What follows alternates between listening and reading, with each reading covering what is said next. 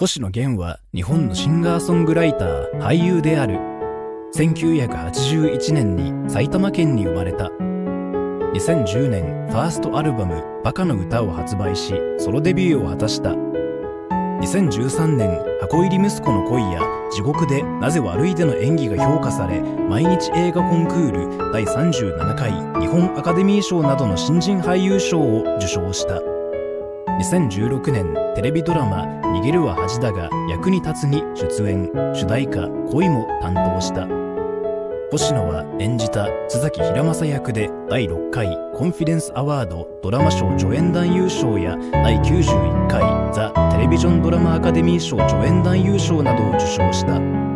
歌手俳優のほか作家などかなり多彩な方である